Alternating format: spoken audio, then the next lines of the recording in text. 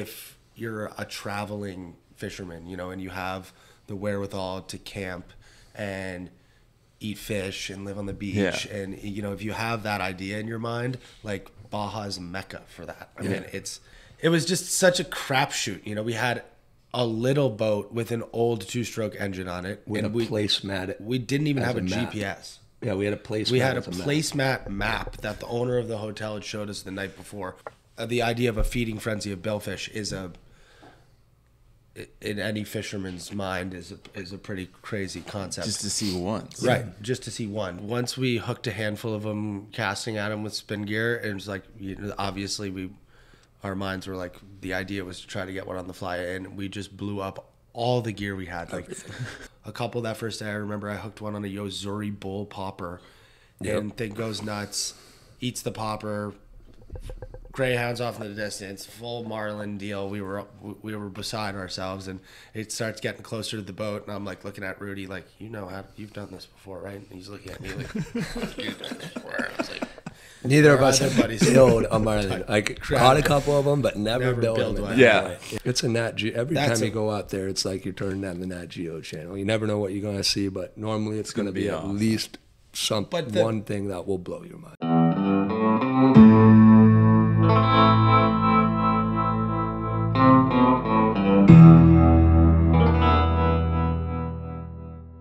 All right, guys, welcome to the Skiff Wanderer podcast. Today I am joined by George and Rudy from Los Locos Mag Bay.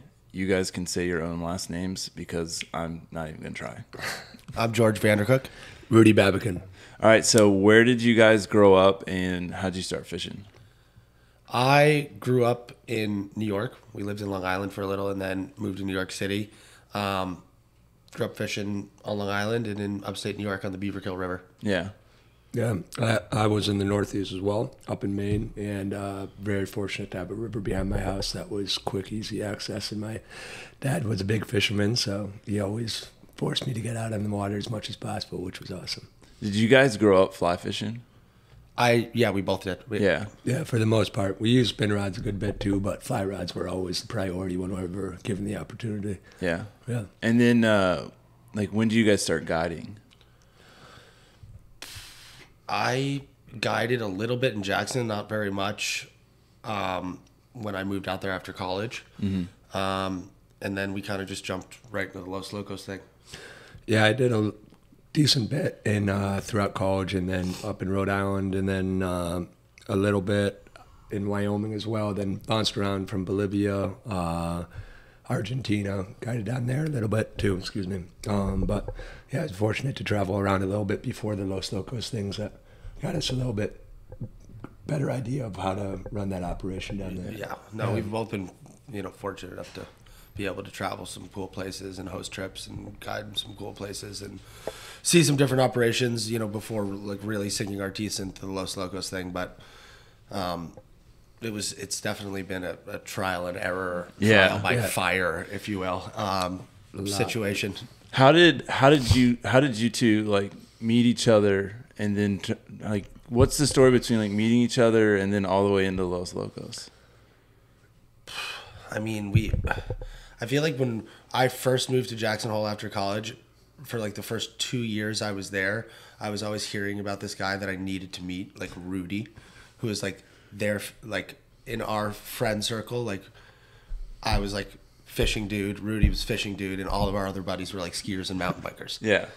And uh, yeah, and then we started fishing together and hanging out, and it turned into, you know, a situation where we were on the same page of wanting to leave the restaurant we were both working at at freaking midnight and go fish all night and come back at seven o'clock in the morning. And Man, similar minds find each other. When Same comes to page. Yeah. and uh, yeah, fortunate to link up with George and be able to do some cool trips here and there. And yeah, got some got some good fish. And after that, we George went down to Baja, did the loop with more of a, I think it was more of a surfer mentality than a fishing mentality. yeah, we, I mean, so I had a, a boat back on the East Coast. Um, my aunt used to work at a Boston Whaler dealership, and I had a 19 foot, uh, I think it was a Nantucket, right? Montauk. No, it's a Nantucket. Yeah. They only made one year of a Oh, yeah. Nantucket. Um, 19 foot Nantucket Boston whaler, and we I trailered it out to Jackson one summer, and like it, it's a seasonal town, so we, we worked in restaurants, we guided fishing, coached skiing, things like that, and then you know from basically from October until almost Christmas, the town is like completely dead. The restaurants close, people go travel, and then everything fills back in like just before Christmas. So the fall plan was to trailer the boat from Jackson down the Baja Peninsula and surf and fish and spearfish and have a good time. And we did that. Um, the first year and the second year, I kind of got Rudy on board, and I was like, man, let's let's go let's go find this blitzing striped marlin thing. And Yeah. And we, honestly, it was more of a find a marlin. Yeah. The Yeah, right, expectations exactly. were low, um, but they were immediately exceeded after the first really hour of being out on the ocean in, in the area. Um, we hooked up to wahoo, we hooked up to marlin, uh, all in spinning rods, but it was still. I remember first getting back yeah. that day and calling my old man and saying we found something that was special. Yeah. And I, we both thought it was a fluke, and we had a couple other buddies with us as well, and all of our minds were just blown. So it took a few days for us to realize that wasn't just one day of the year that that happens, and it's a consistent fishery. And yeah, after that, we realized we could find a cool little niche market where we could fly fish for these as opposed to the traditional ways of throwing bait at them or trolling through them. And uh, yeah, it ended up being very uh, successful. And it, it, in my opinion, it's a lot more fun when you're feeding these fish something that's artificial and it's a, in a stop boat. And yeah, with a fly rod, you can't beat that. So when you guys went down there, you'd already heard about We had The- heard the about Marlin. it, and like when I got Rudy on board for this trip, like it was like, okay, Rudy's coming. Like we're gonna get serious. Like, yeah. you know, the, all the research and stuff that we did. You know, Rudy kind of spearheaded it, and we started seeing, you know, these reports from all these different sport fishing boats. We raised seventy plus fish. We hooked eighty of them. We've like these crazy reports, and there was a Jeff Currier report, wasn't there? And he didn't do great, but and they didn't do great, but the, the the numbers were insane. You know, just the amount, a sheer amount of marlin they were seeing. We were like, yeah. That sounds like we're gonna have a pretty good shot at least at least seeing them. Like they're- We have a month. there. Yeah, we have a boat. It is 19 feet long, but you know, it was like one So of those things. it's a chance. We had some time, and you know, we the year before we had such a good time on the Baja, and I really fell in love with it. And it is a unique, amazing place, and especially if you're a traveling fisherman, you know, and you have the wherewithal to camp and eat fish and live on the beach, Yeah. and you know, if you have that idea in your mind, like Baja is mecca for that. I Yeah. mean, it's it's a it, it's a community in in a place where all the different communities around the peninsula like support and celebrate that lifestyle and you you run into people who have been lost down there for years you know and they that's it and i think when rudy came down you know when our other buddies and it, it, it just clicked that that was Yeah. that was a cool lifestyle and the marlin thing was um just this astounding spectacle Yeah. the first day we got out there Yeah. it was it and the crazy thing about it is we, we we had an idea of like you know what we wanted to see and what like what the possibilities were like the idea of a feeding frenzy of billfish you know is uh, the idea of a feeding frenzy of billfish is a in any fisherman's mind is a, is a pretty crazy concept Just to see once. right just to see one you know Yeah. we've Yeah. we've both offshore fished before and you know you spend a lot of time needle in a haystack for for, these Yeah. things yeah and and um and you know we both grew up fishing on the northeast where you fish for these blitzing pods of bluefish striped bass false albacore it's something that's very familiar to us and the idea of like something similar to that but With substitute billfish Yeah. for for false albacore i Yeah. mean it's it's uh And it is exactly that. Yeah. I mean, and when they're that big, you can wa- you can tra- track the fish. So it's not like an albie you see for a quick second. It's like okay, there's the blue stripes. Okay, now it's over there. And it's Just it's watching them swim around the boat, Yeah. waiting for them to get close. Yeah, and uh, But yeah. that, but like, you know, there, that first day in Mag Bay was like, I, uh, it was just such a crapshoot. You know, we had a little boat with an old two-stroke engine on it, with and a we placemat. we didn't even have a, a map. GPS. Yeah, we had a placemat. We had a map. placemat map that the owner of the hotel had showed us the night before, who was not a fisherman, mind you. We pulled into this hotel at about seven thirty, and he was so excited. He had just built the hotel. It was completely empty. There was nobody there. He was like, "You guys want to stay in a room, or you can just camp on the beach for like five bucks a night. Use all the facilities of the hotel." And we were like, "That sounds great." Five bucks a night. We'll do the five bucks. literally five bucks a day. We'll do five bucks. That's not good. And then we ended up not paying them because we ended up trading fish for our Yeah. rent. So we ended up every day we come back, we'd have a couple wahoo or dorado. It's like here's your, here's our rent, pretty We, much. we yeah we we traded fish for everything that year basically Other than gasoline. gas. Yeah, couldn't figure out how to trade fish for gas.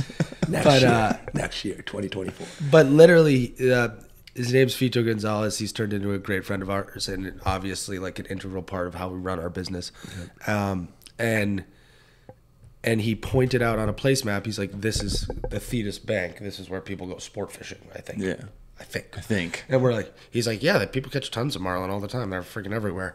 And we're like, well, that sounds like good. And he's like, yeah, it's right here. You just go across the bay to here. You call a guy on channel 16 named Raul. He'll pick you up on a truck with your boat, put it on a trailer, drive you over the land spit to the other side. And then from there, it's, you know, 28 miles out to the Thetis Bank, like just right out there. Oh, we got And that. we're like, oh, okay. okay. we set like some half-assed compass heading on this laminated placemat map, and uh, and went for it the next day. Called Raul, Channel 16, picked us up, jumped us over the land on some sketchy trailer with a truck that barely worked, and and we basically started putting out in the 19-foot whaler towards the heading that we had set, and we saw we saw a sport fisher, Yeah, right? we- like after like an hour and a half, we were like, oh man, we're not gonna find this. And it was also flat calm that first day. It was like glass. yeah, and then all of a But sudden swells. Yeah, off in the horizon, you could just see a little dot, and I was like, okay, that's got to be something. That could be it. So we just started going, and sure up more and more boats.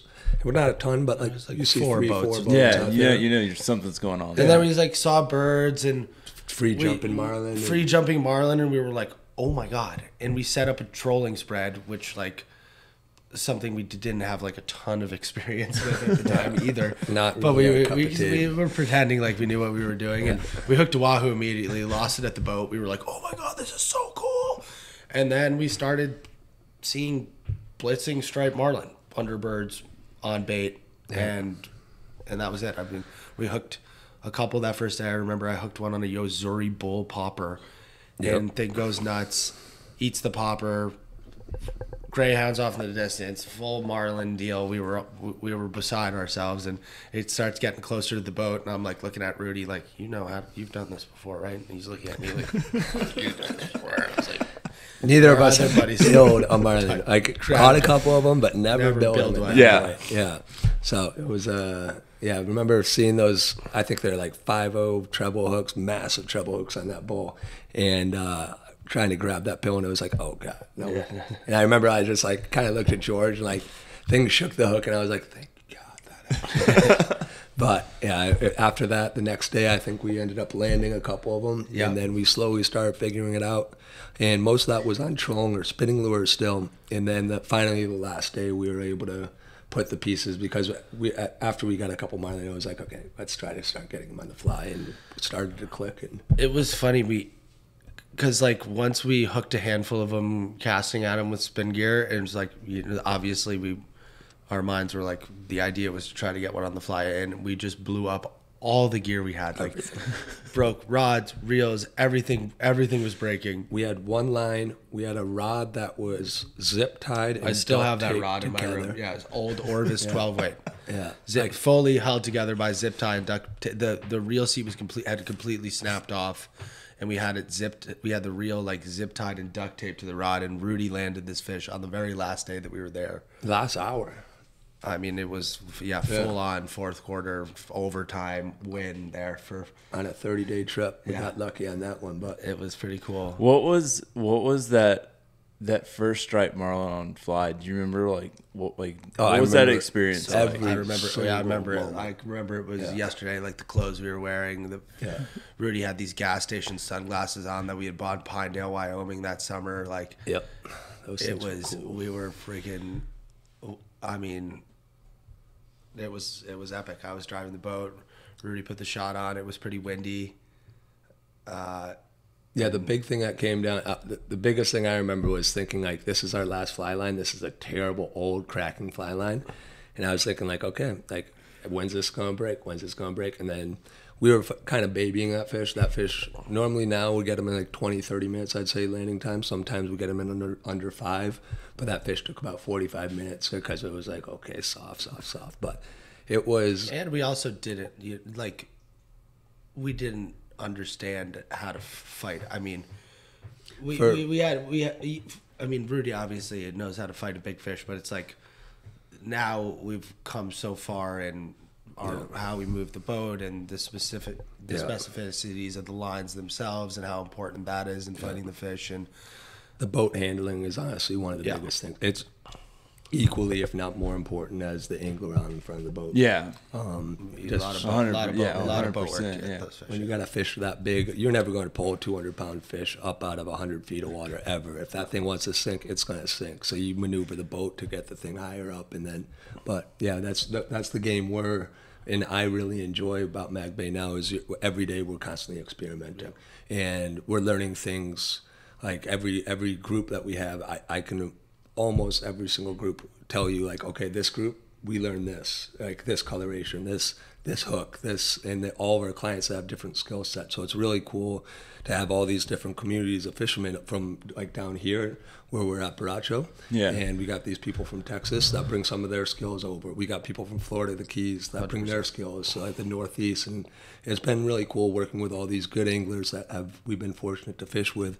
Put all these little pieces of the equation together through each one of them, and building a pretty successful uh, or good success rate for these marlin. Yeah. which has been a real. Honestly, the puzzle for me is the fun. Yeah. Oh, yeah. Figuring out the puzzle, and that's what we're constantly doing, and that's why I, I don't know if it's ever going to get old. Yeah, and, and, and you know the coolest thing about that puzzle that Rudy was talking about as well is like, with where we always say like where we're at with the business, we're still in like an experimental, exploratory stage. Yeah. And I don't think that's ever going to change. Like the nature of Mag Bay and the dynamism of the fishery and how unique and special and multifaceted that fishery itself is, you're never going to be able to figure out. And, and nobody else is down there doing it. So it's like there's nobody to ask, there's nobody to get intel from.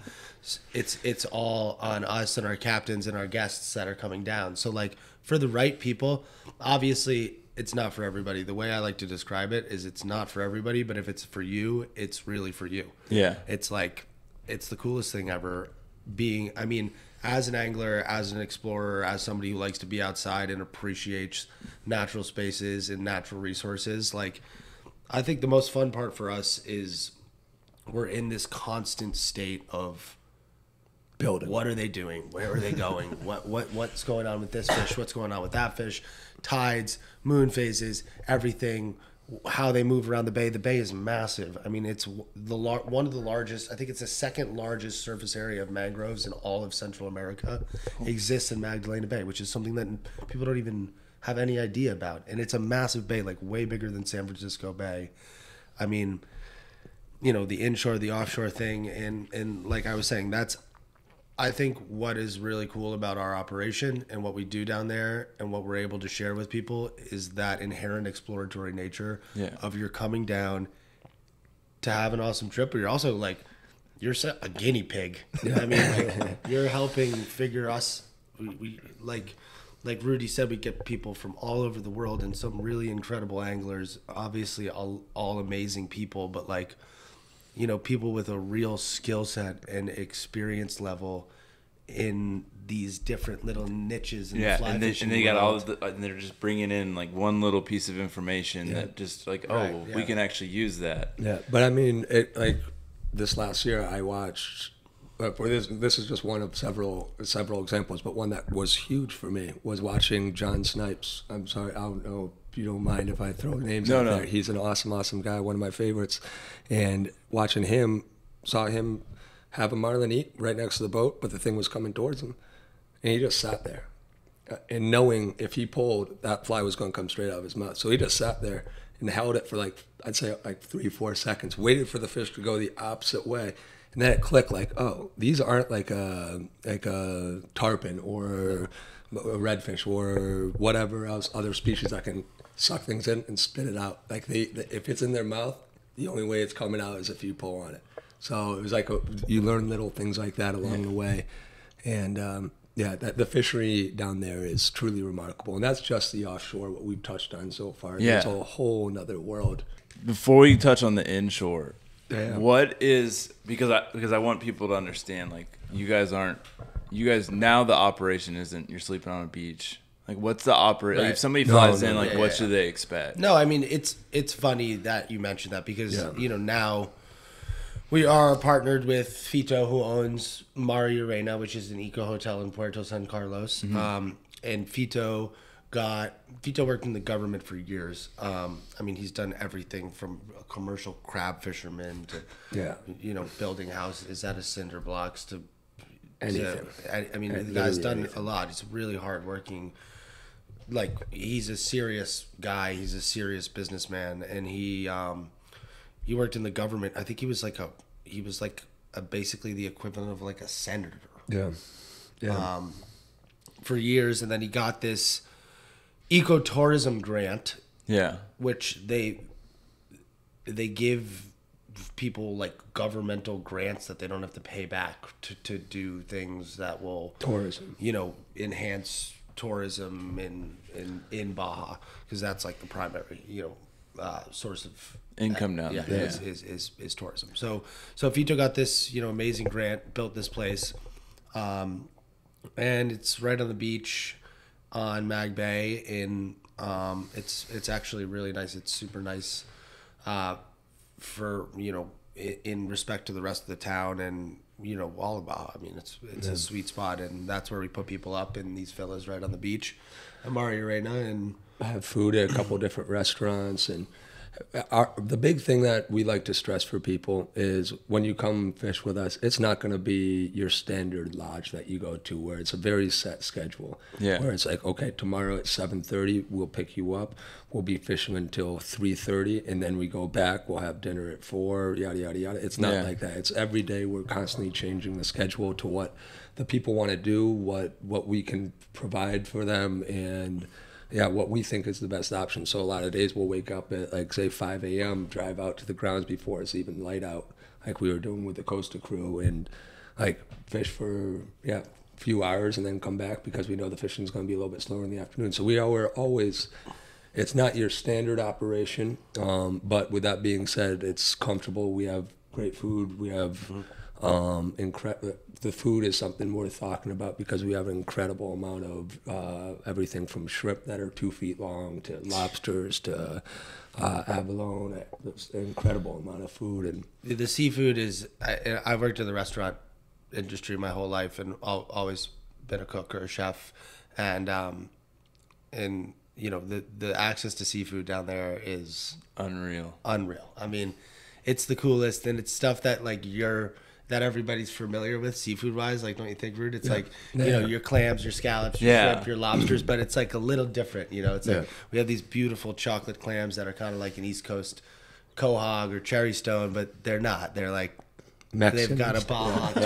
Yeah, that's like you know Wearing they have this cool sombrero. red meat and they, I'm in in it everything's just so fresh and you can get it so good, so cheap, and it's so abundant and you know like and that's what like is it's it's you know it's what that town lives on you know? Right. it's everybody's a commercial fisherman everybody has a ponga like the ponga per capita in that town is got to be It's higher. two to one. yeah, it's two to one yeah, Yeah, and it's like you know you see 12 year old kids driving their dads to the boat ramp and dunking them in the water like picking them up at the end of the day and it's just it's like what coastal communities in america must have been like like 300 years ago Yeah. and and the resource itself speaks to that as well and and the ideas around like conservation and resource management are like they exist and that that like because people know like the, the idea of leaving enough for your kids or for the next people Yeah. like in order to be able to make a living so it's really cool. It's really cool, and we work with all local captains down there, and that's I think a really cool piece of what we do is our captains can interact with our guests from all these different walks of life, all these different crazy places of the world. You know, our captain who might have never even left San Carlos, Yeah. or go, like That area. yeah, that area Yeah. at all in his whole life. You know, can talk to people who speak English, speak French, speak Spanish, and have these crazy different life experiences. And then they come down to San Carlos. They appreciate the place. They appreciate the resources, and the captains are really proud of that. Yeah. and they're really proud of the fish, and they're really proud of the locally specific knowledge that they have. That's allowing us access to this amazing resource and you know all those boundaries Mm-hmm. are transcended by like we're going out together and we're trying to touch some fish It's amazing what fishing does. it is like it brings sounds everyone cliche together. but it's like Yeah. no matter how much money so and so our client makes yeah, slash our captain we're all in the battle now. Yeah. no and and, and and everybody is appreciated like you know our client phil and our captain jose like they're gonna they're gonna hang out and jive over the fact that we're we're trying to catch fish Right. and like this dude's fishy that dude's fishy doesn't matter where you're from doesn't matter what you do for work and um and it's just cool like seeing people vibe out like that and and seeing how much pride every, everybody in San Carlos has in San Carlos and in, in, in Mag Bay and the resource and and, and how they, and they know how special and unique it is. Yeah. Yeah. Yeah. What? Um. So I mean, we you know we talked about the commercial and we talked about stripe, uh, the marlin. Talk about the inch. Like, what do you guys do on inshore? The inshore, I mean, it's a, like George mentioned earlier. It's a huge, huge bay, and Yeah. the diversity in it's incredible. All the way from the mangrove systems he was speaking of, which seem endless, to huge beaches that are hundreds of miles long, to rocks and uh, formations offshore. Um, that point that George was talking about, you can get. It's one of the point or the the original point that we went out to that first day. It's got a high point that's 60 feet high and catch Comes out of like comes out of like 1200 feet of stuff. water. Yeah. Um, but the, I think that first year, George and I, including a couple birds, was around 65, 70 species. Yeah, we've caught over over almost 80 species of fish since we've been down there. Yeah. On fly or just in general? In general. In In general, yeah. A lot of them were most most of them we've caught and- on Yeah, fly, but yeah. Yeah.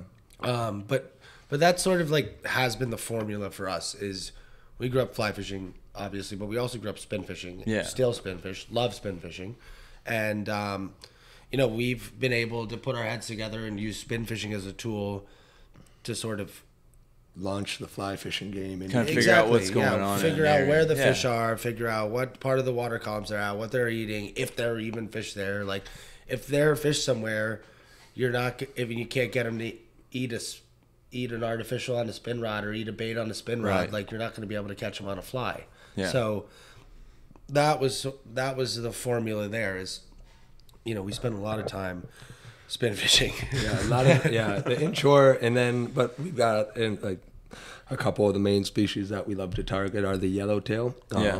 which is like a rainbow runner for more. I'm trying to think of another It's a species. it's an amberjack. So Yeah. it's a Yeah. yellow-tailed amberjack. So it's like a more slender amberjack, member of the same family. Yeah. Um, wicked fish. I mean, they get big. We catch them anywhere between you know eight and 60, 70 pounds. I mean, and Yeah, they, and they're they're schooling fish. They're strong as hell.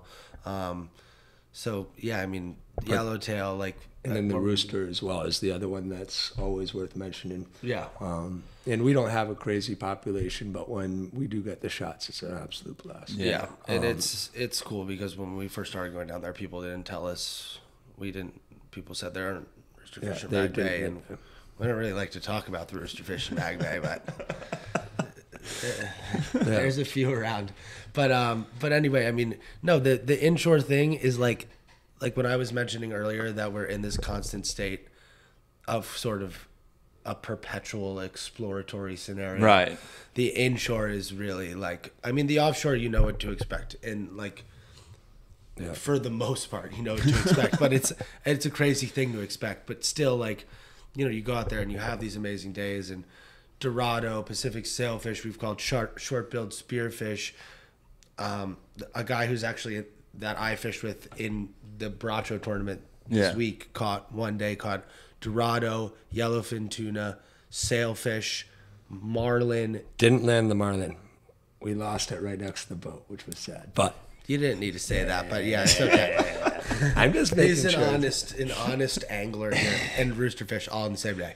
So that, it's like it, the offshore thing is crazy, and and you run into all these insane things: whales, orcas feeding on dolphins. I mean, like It's a Nat Geo. Every That's time a- you go out there, it's like you're turning on the Nat Geo channel. You never know what you're going to see, but normally it's going to gonna be, be at awesome. least some But the- one thing that will blow your mind. But yeah, exactly. You have there's a there's at least a one day one thing mind blower, hundred percent. That's a Los Locos guarantee. But but the inshore thing is much more of a puzzle. Yeah. Like we go out, we're like, all right, let's go out, find some birds, catch some marlin, let's go. Yeah. Inshore, totally different ballgame. Yeah. What's the moon doing? What's the tide doing? Where are they at at this stage of the tide? Where are they at that stage of the tide? Like the fish like the yellowtail, these like I mean, you, you call these inshore fish, but you know we're fishing them around mouths, we're fishing them around structure. They feed on bait certain t- moon phases. We've sort of figured out that they like that quarter moon. They don't like that much moving tide. That's when they hang around like the areas that we can catch them on lake tackle, spin gear, and fly.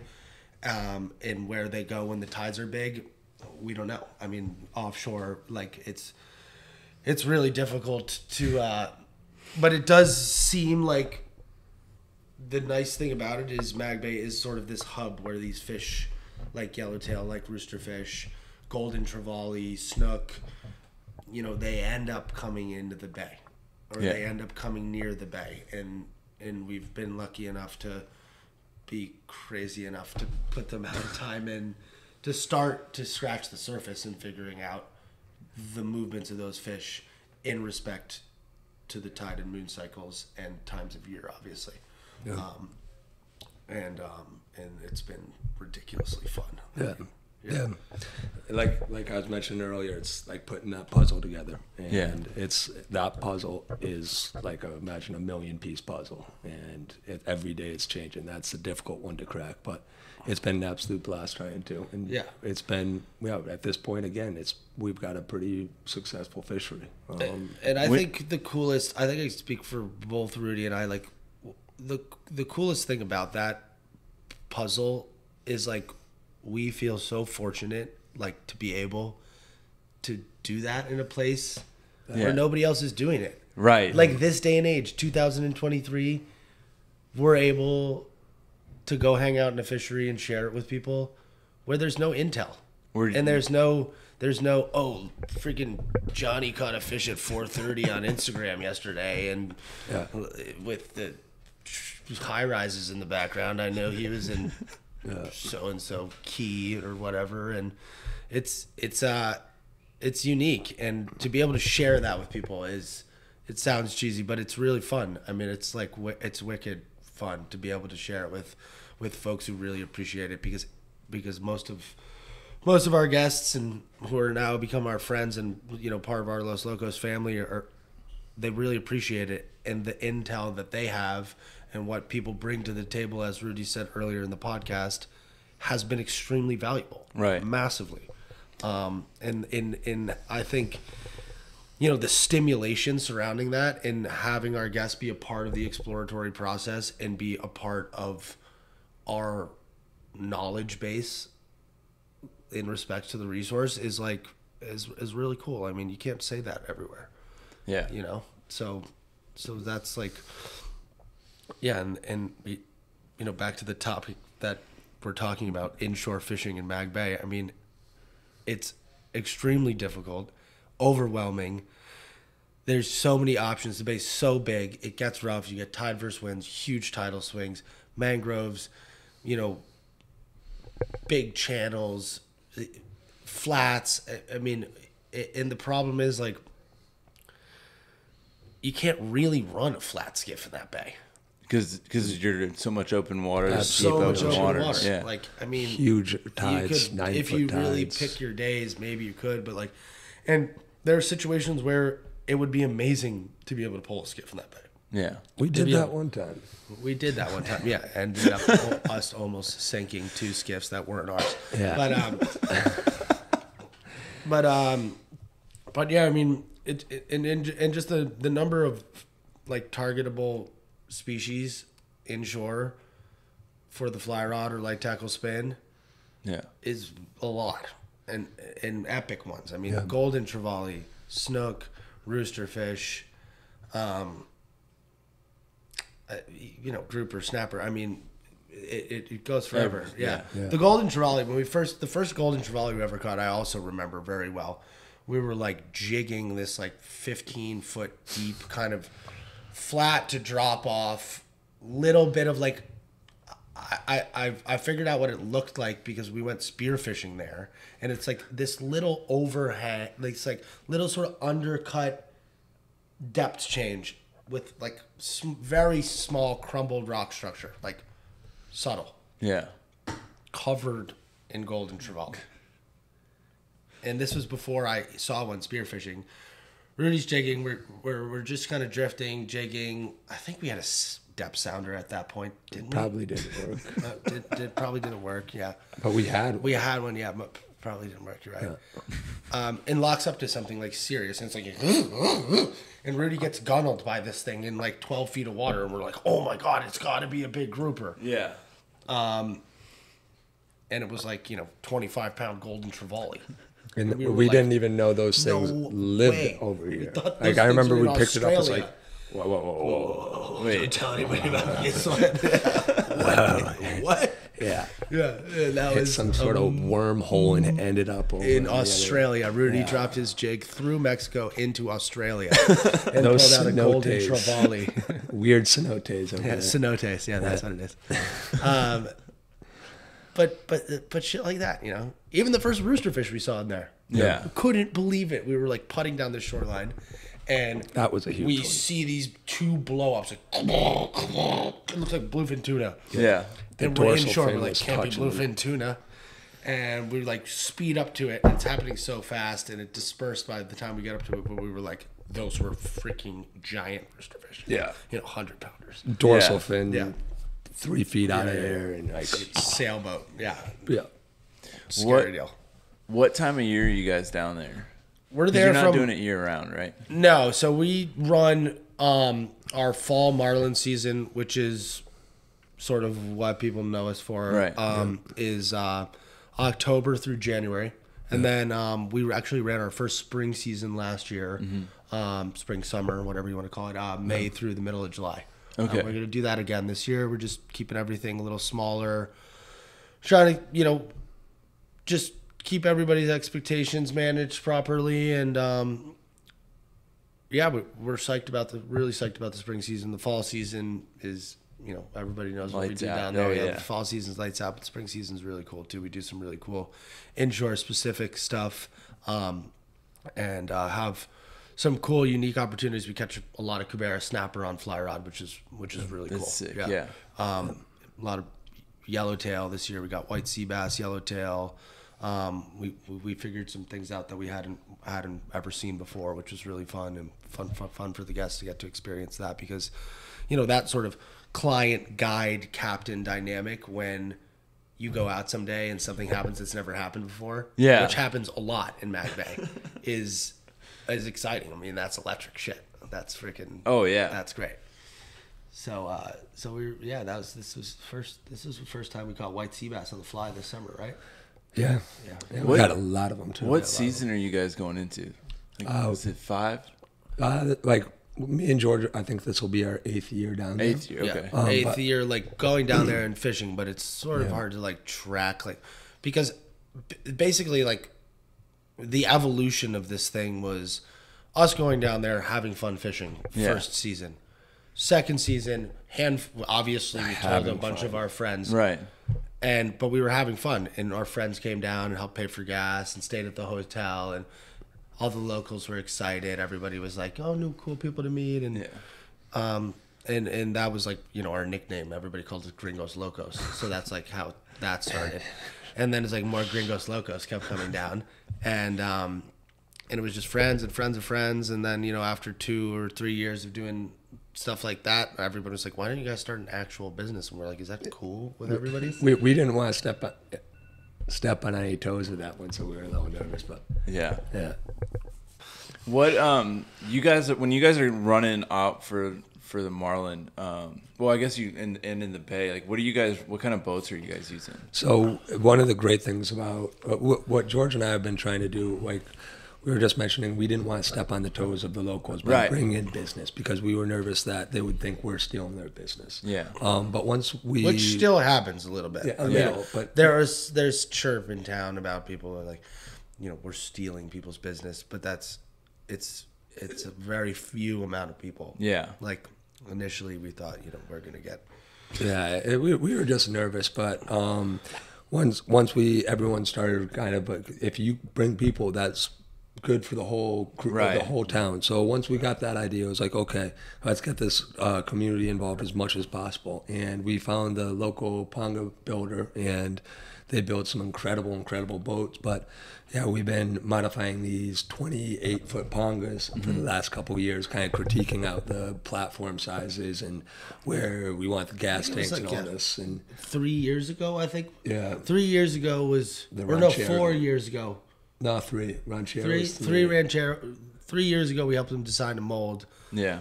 Yeah. And these guys are actually like quite well known in the whole peninsula of Baja and all Great of Mexico pongas. for building really, really good commercial fishing pongas. Um, Right.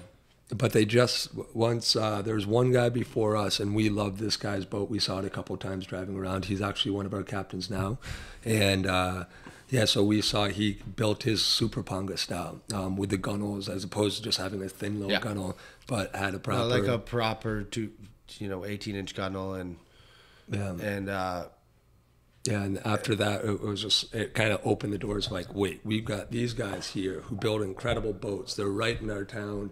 Let's let's get them involved, and it, it's Yeah. been awesome. It's been that's honestly been as so much fun, yeah. As some of the fishing is going in there, hanging out with the boys, out and with those dudes huffing and- fiberglass for a few hours. You know, but it was amazing. I mean, like showing them photos of like normal center consoles, showing them photos of flat skiffs. We were like, can let's figure out how to build a boat that's like an offshore skiff. Right. and and they did it. They nailed it the first time. I mean, they smoked it. The that when that first boat came out, we were like, no Yeah. way, this thing is sick. yeah.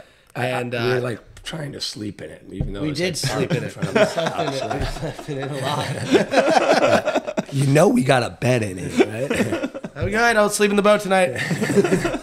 um, but but it uh, that's been so fun, and I mean, like Rudy said, we try to get everybody involved as much as possible. Like from our our dinner rotations, we have a lady that makes us lunch. We have another lady that makes us snacks. You know, we we have this. It's and right like we're not trying to be like philanthropic about it or anything, Yeah, but yeah. it's it's fun.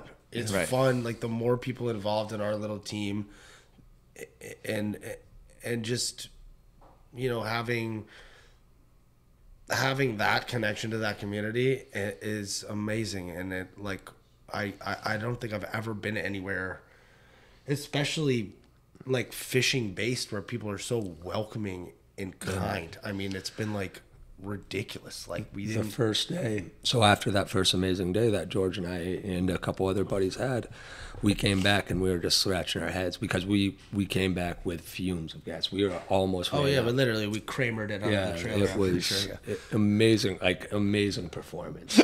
But we get it on. or the miracle might be the proper Yeah. terminology for that yeah But we we were like this is one example that was the re- really the opening day for us because it was the first real time we saw the marlin. We got back. We were nervous about how do we get there and back consistently. And we get to the gas station. We meet up with one of our other good people, or good friends and business associates, Gabino. And Gabino, he she sees us. He's like, "What are these gringos doing here?" Like, came over, He speaks English. This is the first guy we met in town like speaks English well. Yeah. Yeah. Like And that he- is also the cool thing about Puerto San Carlos. You go to a lot of places that are, you know, Yeah. washed with English. Puerto San Carlos, no Pretty- English. No English. Yeah, so he starts showing us these photos of these marlin that he's just starting to swim with, which has become a huge industry for Yeah, them. huge industry is the Swimming with eco them. tourism, Swimming. swimming. with marlin. Yeah. It's mostly like It's cool. semi-professional slash very, uh, you know, people that are really into underwater photography and free diving. I guess. Yeah, Um, yeah. Go on these offshore safaris, and they have these incredible encounters with pelagic species. And they swim with the bait balls and photograph them and film them. And it, I mean, we encourage our clients to do it too. We were doing it before anybody else was doing it as well. I mean, Yeah, there's a Pretty much. couple other groups right before Yeah, us. But, but Gabino- anyways, yeah, to bring back the, the Gabino, Yeah. like the first day, we're sitting at this gas station scratching our head, like, okay, where I can we get gas tank anywhere? Everything's closed right now. Gabino rolls up. He's like, yeah, man, take this gas tank out of my car. I was like, we don't even know you, man. We're Like, literally like, standing at the gas pump having a conversation of how are we going to get a gassed can or something so we could take more gas so we could go farther so we sail longer blah blah blah and this guy just rolls up and happenstantially gifts us a gas a tank. gas, gas can tank. a Yeah, without gas knowing can, us or anything. Another five minutes go by, and we're standing there still filling up his tank, and this other guy comes by, and this, and this guy i think it's worth mentioning gabino has become our, like you know our, our best head friend. Yeah. our mexican business partner uh, like He's our guy. You met him at arguably station. people in town will say he's my father Yeah, yeah, yeah. striking resemblance. It's uh, it's hilarious. Yeah, that happens actually a lot, and I've I've been fooled a couple times. But yeah, and we're so five minutes after we're sitting there, this guy rolls up. Another guy he kind of looks at us funny, walks up to us and goes, "Wait, you guys here fishing?" And we're like, Yeah. "Yeah, we're here fishing." He's like, "How you doing?" We were talking about like the experience we had. He's like, "Yeah, yeah, that's pretty standard, but you don't have to run all that far."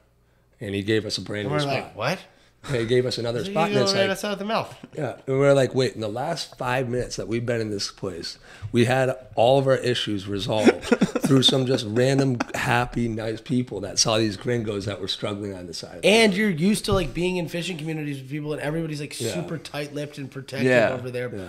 personal information, and it's like, and he was Enrique was like, this is Enrique Soto, who's you know from a very cool Fishing family. fishing family. His brothers, we've worked with dad- him. His brothers, his, His dad, dad was actually the first person to take fly fishing. anybody fly fishing in, in yeah. Bay. He was Gary Graham's guide who wrote Baja on the Fly. I'm not sure if you've heard of that book, but um, Gary Graham wrote Baja on the Fly or Magdalena Bay on the Fly. I don't know, but but yeah, he he was down there doing, In you the- know, in the '90s, in the early 2000s, late '90s, early 2000s, I believe. Um, did a lot of fly fishing stuff in Mag Bay. And Yeah. Caught a bunch of big snook and all kinds of cool stuff. And and En- Enrique's dad, Enrique Senior, was was his guide, and you know, sort of passed that down to Enrique and his other sons, and yeah, Jose Alberto and Josue, and we work with all those guys, and and they're the most stoked dudes ever. I mean, like that, all of our captains. It's like the fly fishing thing Yeah. people are like, "That's crazy," and if it that works, that's crazy. like, Yeah. what is even that? Yeah, but yeah, the the the generosity, the uh, there's really no words to describe how positive this community can be and how how helpful they are. Um, and honestly, with w- we would never ever ever be able to, to do nearly what we do without the help right now gabino is working on our boats he's getting trailers made he's we got our guys putting in fresh hot water tank or heaters in our hotel we got like constantly people working down there around the clock and th- Yeah, it's and- just and- out of their own generosity and obviously But it's been well. cool Yeah, to yeah. Yeah, it's but been cool it's- to be able to stimulate that, That- place, yeah. and and to be able to see. Um, you know, we're working on a film right now with Grant Wiswell and Andy Danilchuk and you know Tom Enderlin and a handful of other people. Um, it's just cool to see the positive impact that sport fishing, fly fishing, you know, whatever you want to look at it as, tourism has on a place. For the whole community. yeah, and it, Yeah. because we, we walk this fine line, and you're like, you're like, okay, this is a zone that is really special to us. This is something that we need to protect. We need to, we want to keep it secret, like blah blah blah blah blah. And you walk this fine line by like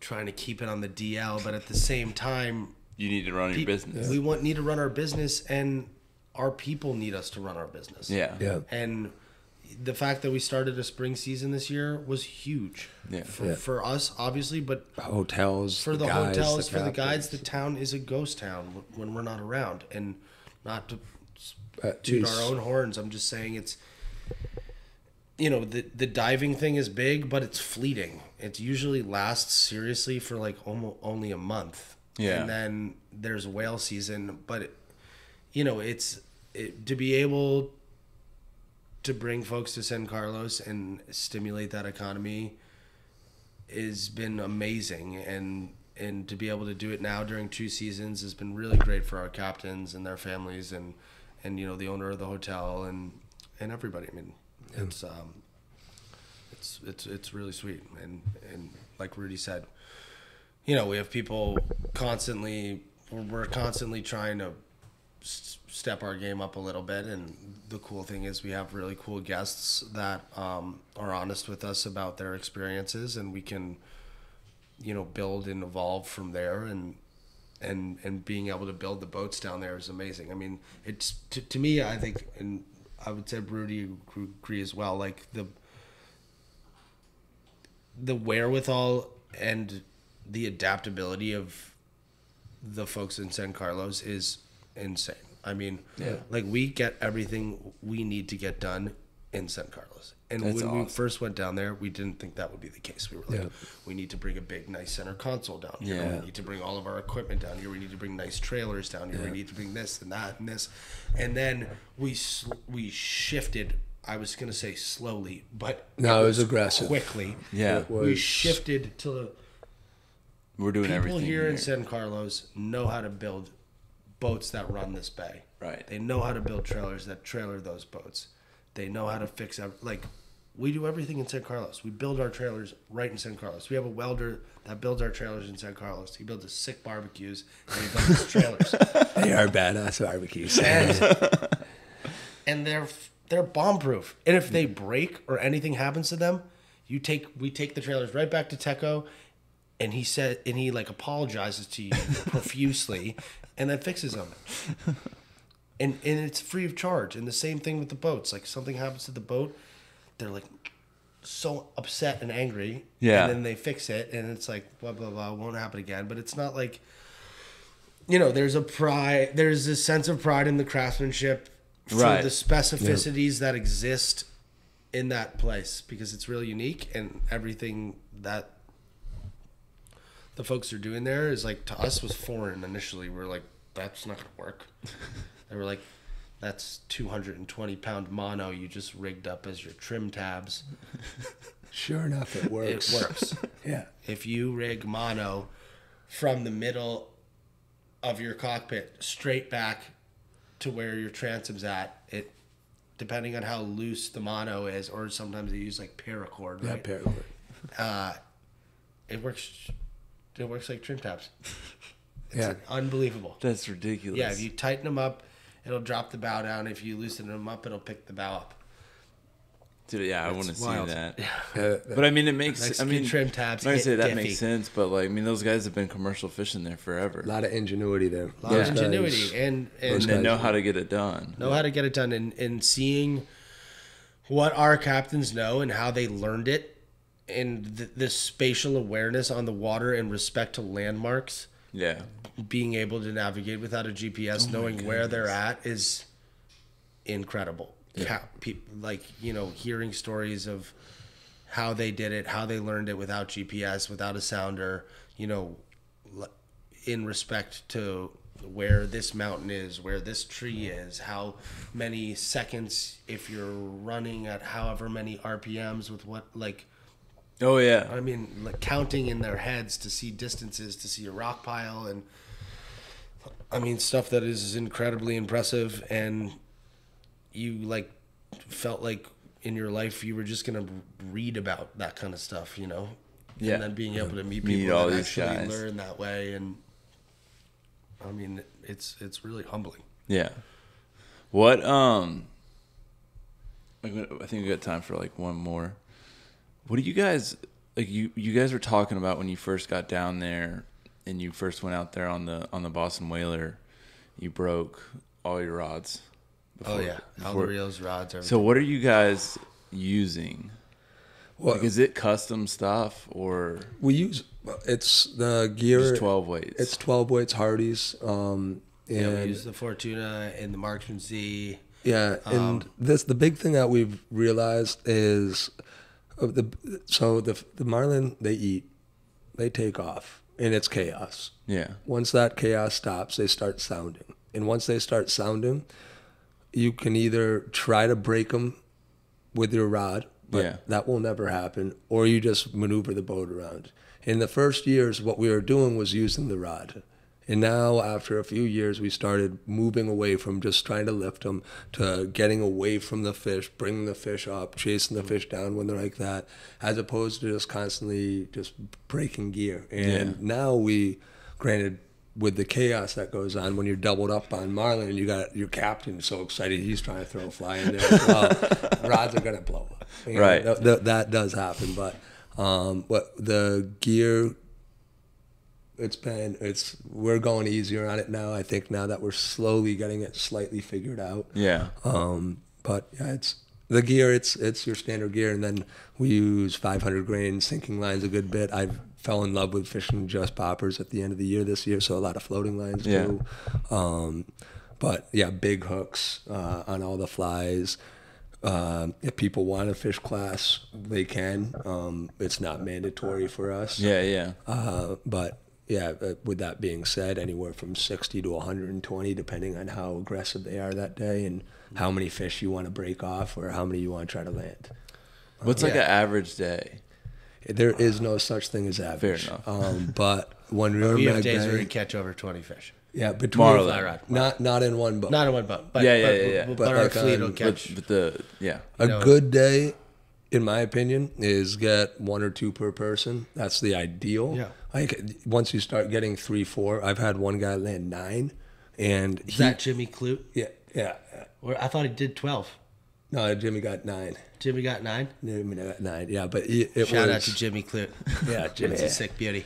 Yeah, he is. Um, but he like like you almost you forget about him. Like, it's like Yeah. it becomes almost like a numbers thing. Yeah, yeah. But It like just- if one or two, that's a res- you respect it still. It's a beautiful thing, and it's you watch the thing go away. You don't do too much impact on the bait balls and let them do their thing, and you get And there's back also early. so much to experience. Yeah. Yeah. Like, it's just not about all the marlin there. It's There's not- a lot you know- more dynamic fishery than just we're not huge on the numbers game. I mean, Yeah. like we just, you know, we've talked about like putting a cap on how many fish you can catch. Like some days you can go Just out to leave them alone. Still leave them alone, and also just like it's special. Like it shouldn't be like Yeah. I want to And get double digit marlin. Like Oh yeah, yeah. Yeah. I go catch you. a marlin on the fly from a drifting boat without the use of bait or teasers. Like it's fun.